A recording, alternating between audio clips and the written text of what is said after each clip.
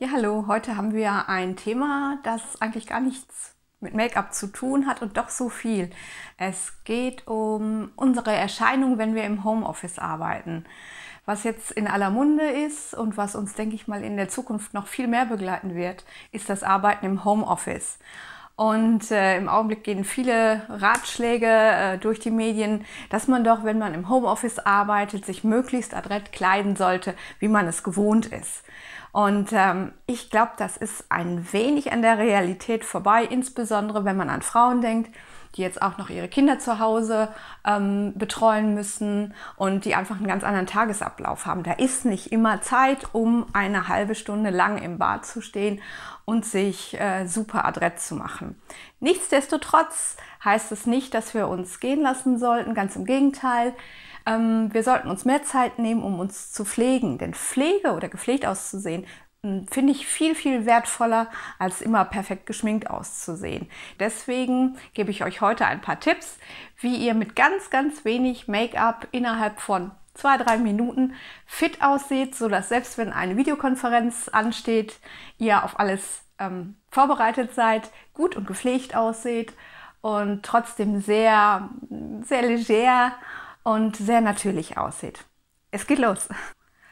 Also bevor ihr an den Schreibtisch geht, solltet ihr einfach eure Haut schön reinigen, vielleicht ein Peeling machen, eure Lieblingscreme auftragen und danach wirklich nur die Stellen, die ähm, negativ hervorragen. Also Augenschatten, kleine Unreinheiten, Pickelchen, sanft abdecken. Ihr seht, das ist hier mein kleiner, ähm, mein kleiner Schatz, mein Abdeckstift, mein Concealer und den trage ich wirklich nur um die Augen auf und wenn ich ein kleines Pickelchen habe, ein bisschen. Schritt Nummer zwei, ich ziehe einfach nur meine Augenbrauen nach. Mit dem Augenbrauenstift geht das super leicht.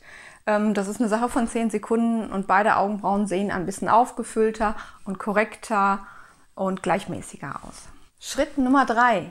Ein Lippenstift lässt euch direkt etwas strukturierter aussehen, etwas gepflegter aussehen. Ähm, die Engländer haben so ein schönes Wort, das heißt crisp, also so wirklich äh, knackig korrekt. Und äh, genau das macht ein Lippenstift. Und den trage ich jetzt auch mal auf. Das ist hier bei mir ähm, die Nuance Charm. Das ist der Lux Lippenstift. Und der passt halt einfach gut zu den Sachen, die ich heute trage. Grau, hier ist so ein ganz leichter rosa Stich mit drin. Und ich mag das einfach, wenn wirklich alles Ton in Ton ist.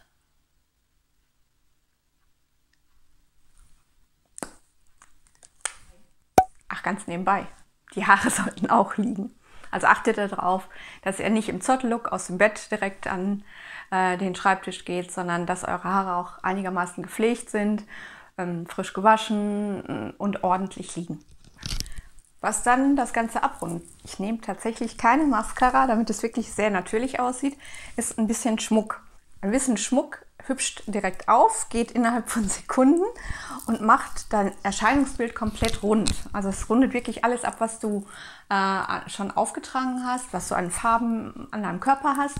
Und deswegen solltest du deinen Schmuck so wählen, dass er harmonisch mit dir und mit der Kleidung, die du trägst, übereinstimmst. Also bei mir ist das jetzt, ich hoffe, es stellt jetzt scharf, hier einfach so eine kleine Kette und ein paar Ohrringe. Also beides, ihr seht das schon in relativ natürlichen Grau- und auch Rosétönen.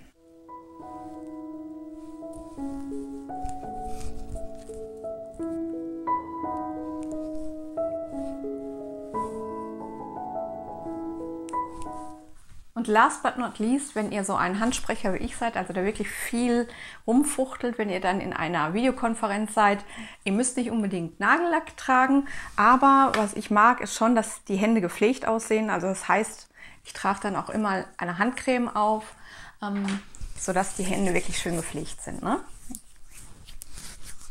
Handgelenke nicht vergessen, sonst sind die nachher trocken. So, und das ist einfach das, was man braucht, um einigermaßen an die Arbeit gehen zu können, um sich selbst wohlzufühlen.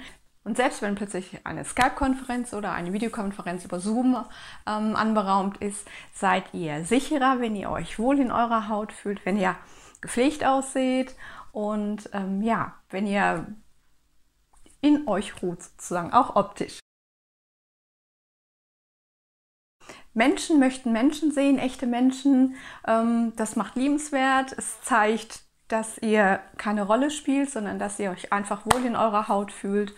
Und ähm, so könnt ihr in den Tag starten, produktiv sein, arbeiten, kreativ sein und euch wohlfühlen. Und bis dahin, kommt gut durch die Zeit. Bis bald.